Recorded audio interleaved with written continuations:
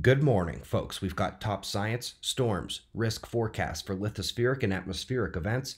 Bit of a geocentric day for the most part, but not at the start as we find the last 24 hours on our star here at spaceweathernews.com.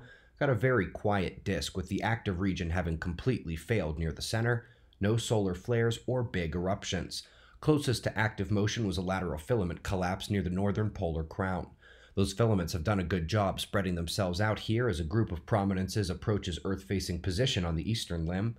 The solar wind continues to calm down at Earth, and with that, we also see the geomagnetic conditions quieting. Remember, we want green, but too many zeros, and the cosmic rays get an open door. We do have a chance to pick back up off the floor with more coronal hole streams possibly on the way from these dark openings. Any magnetic connection to the incoming coronal holes would be within about 24 hours. Let's quickly look now at Malawi. One of the hardest storms hit yesterday, damaging structures and vehicles in a fast burst of wind and hail.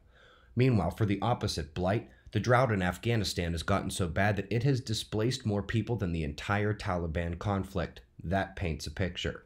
Right now, there are no named tropical storms on the planet. Most forecasters are eyeing the Central America region for that energy, where, by the way, Rincon erupted in Costa Rica for a brief spell yesterday. The Global Climate Report for September is out. This is what's going around all the news media, and it paints a different picture than the departure from average maps. Not only do we miss the recent frame of reference of change in that first one without the blue, but in this case, month after month, they are actually showing that the temperature peaked at some point in the last two to four decades and has been trending lower by comparison when showing just the last 30 to 40 years. Pretty sure they don't realize they're doing that. Up next, the search for ancient superclusters continues. This one, discovered by the ESO, is characterized by seven distinct density packets connected by string like filaments full of early galaxies.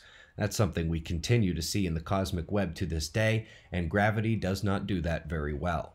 Last but not least, the official tornado trend in the United States is east. While Texas and more central regions still take the highest numbers, those numbers are declining compared to what's happening to the east of them. This graphic shows the relative shift over the last few decades.